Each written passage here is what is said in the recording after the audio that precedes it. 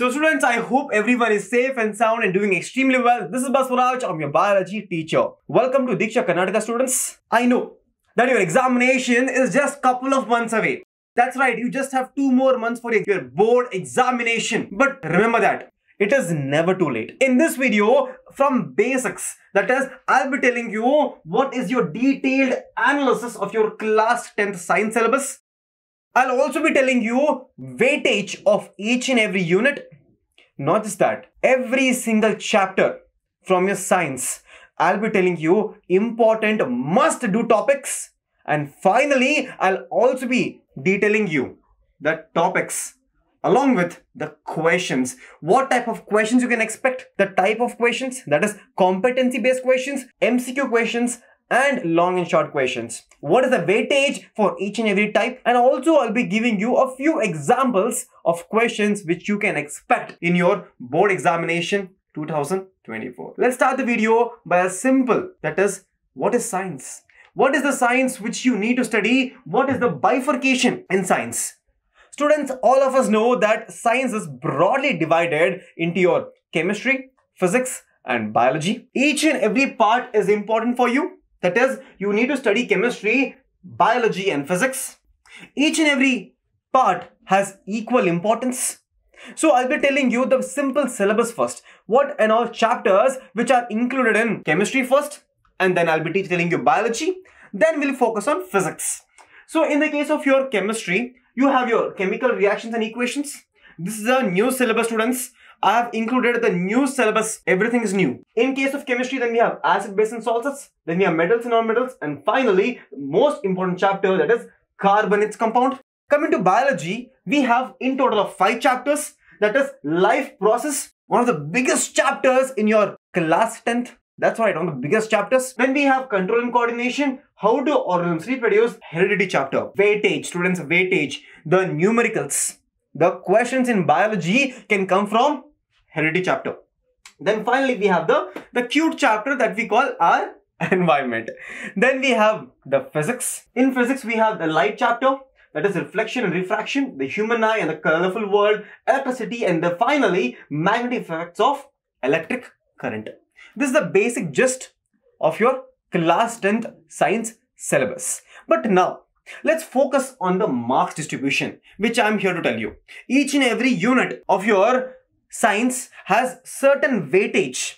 If you look at this tabular column right here, the most weightage goes to your none other than the biology. That's right, the most important unit the most you need to focus on is the biology. If you look at the distribution, mark distribution, the world of living, that is your entire biology has 25 marks along with the 5 marks here, right? 25 marks here and 5 marks here, that is natural resources.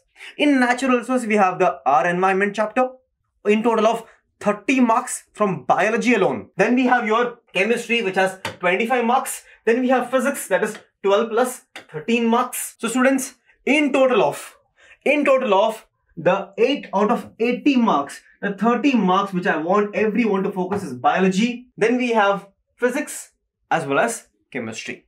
Remaining the 20 marks is your internal assessment and total of 100 marks.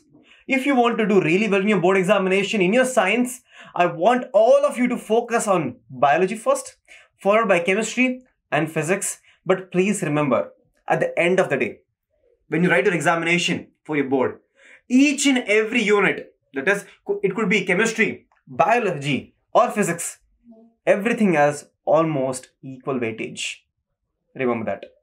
But I will tell you now what you need to study in each and every chapter. That is what is important. For example, in the case of your chemistry, the chemical reactions and equations, all of you need to have the mastery over your chemical reactions, oxidation reduction and corrosion. Coming to your acid base and salts, that is reactions of acids, applications of pH and formation of NaOH. Very important concept. Especially this one, reactions of acids and bases. You could have direct questions there. Direct questions will come. Then looking at the metals and non-metals, we have the properties of metals. There could be sonar, right? Malleable, ductile. All that is very important. Then we have reactivity series and extraction of metals. Very important concept. Very important. Then we have carbonate compounds, nomenclature, very important. Then chemical properties of carbon compounds and soaps and detergents. That's the chemistry part. But if you look at the biology, especially the biggest chapter of all, that is the life process chapter. That is in the life process chapter, the every single point that it, it could be nutrition, it could be the respiration, transportation or excretion, equal importance. So students, if you want to understand biology, if you want to really understand and get marks in biology, this is a must do chapter. That is life process. In control and coordination, I want all of you to focus on the hormones. Students, one question will directly come from the hormones. Directly come. They'll ask you either gland or the excretion in the hormones. Apart from the hormones, they'll ask you about reflex arc and the human brain.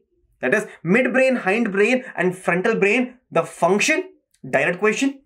And if you look at the how do organs reproduce, in that the modes of asexual reproduction, the types, all the types are very important.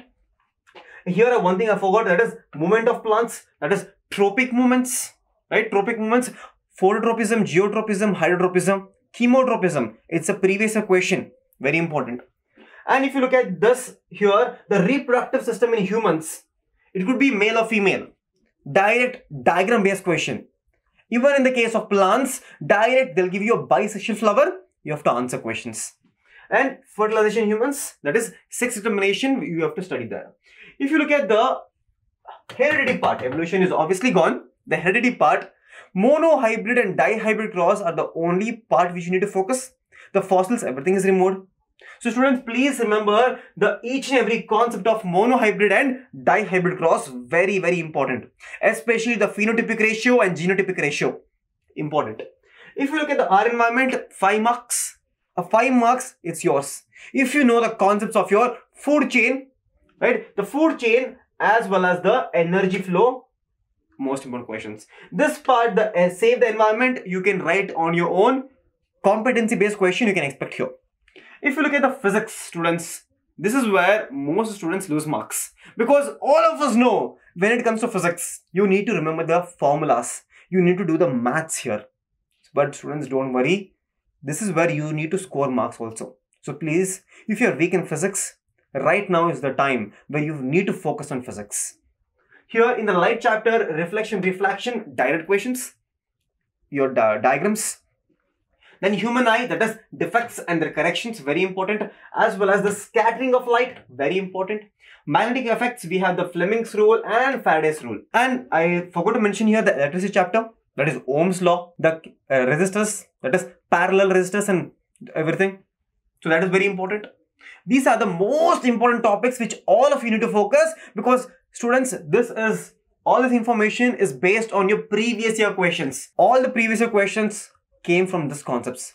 So students, please remember these concepts. But if you look at the question type, so what type of questions can we expect here? Please remember, students, do not ignore the MCQs. There are certain techniques to answer the MCQs. So MCQs are very important because 40% weightage is for your multiple choice questions. That's where it decides your marks. All of us know we have the competency based questions which all of you need a special type of training. You need to solve it. Then finally, we have our regular long and short questions which consists of 40 marks. But students, I told you type of questions. But sir, which type of questions can you come? Sir, can you give us examples? Yes, students. These are the examples which are given here. These are the previous year questions which have been asked in your board examination. For example, this is a question from your 2020. That is direct question from your digestion, digestion part of your life process. That is digestion absorption, food takes place in which part? All of us know it as your small intestine. Direct question. Or it could be your diagram based question in your biology. All of us know the importance of diagrams. For example, in control and coordination, the, the uh, diagram of your neuron has been so many times asked.